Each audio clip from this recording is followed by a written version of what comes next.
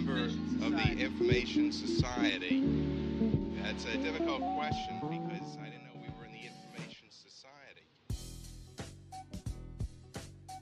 To begin the quest, speak to Olaf just northeast of the Rellekka Lodestone.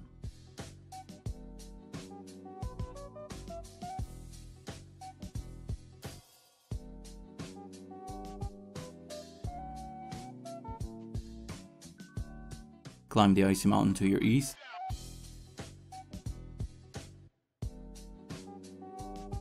Chop the tree. And speak to Olaf once again.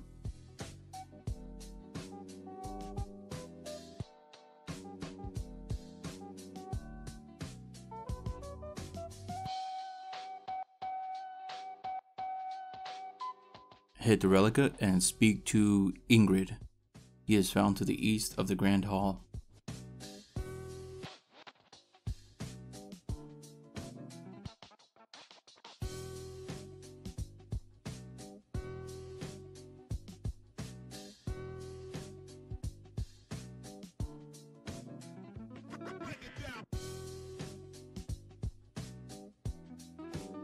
Next, speak to Volf by the helmet shop.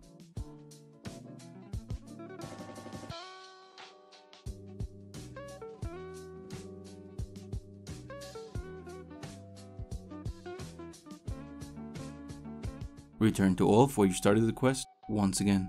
Speak to him.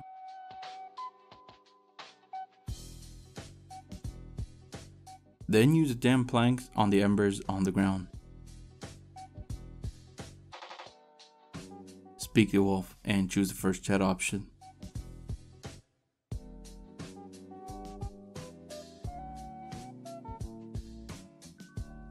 With the map in your inventory, go ahead and read it. Once you've read the map, go ahead and pick up the spade nearby.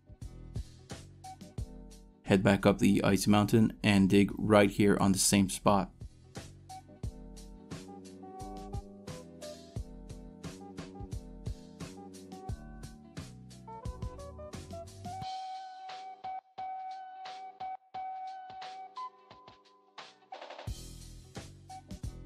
Continue along the path till you find a door with some skeletons nearby.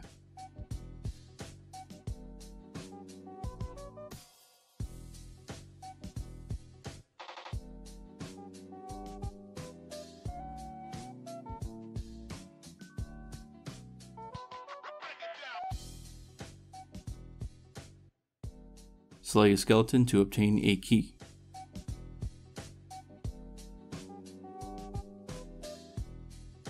The solution to the puzzle is right here on screen. It's a simple matter of just flipping the switches on the right to change the sides on the left side. Click the bottom lever to complete it.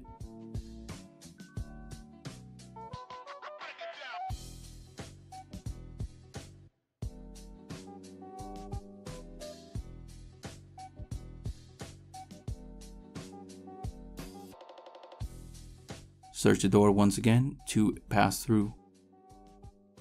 In this room, go ahead and pick up 6 ropes. They do respawn quite quickly. And pick up 2 rotten barrels. Now for the most bloody annoying part of this entire quest. Head northeast and you will find this bridge. You will find certain holes in the bridge and your task now is to use your barrel on these holes to repair them. But here's the catch. You could very easily fall off and you will appear by Olaf and you'll have to walk all the way back.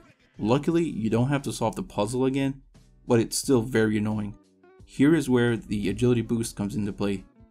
At times it might seem like as if you're missing something from this quest, but nope, it's just a very frustrating quest.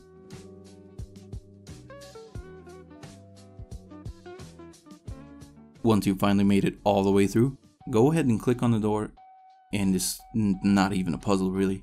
Go ahead and click on the keyhole that corresponds to the key bottom that you have on the right side. In my case, it's obviously the round one, so I'll click on the round hole.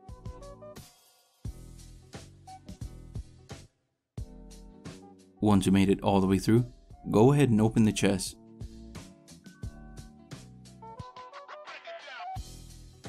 You will be attacked by an NPC. Simply slay him, there's no special mechanics involved. Once you've slain him, attempt to open the chest once again, and quest complete.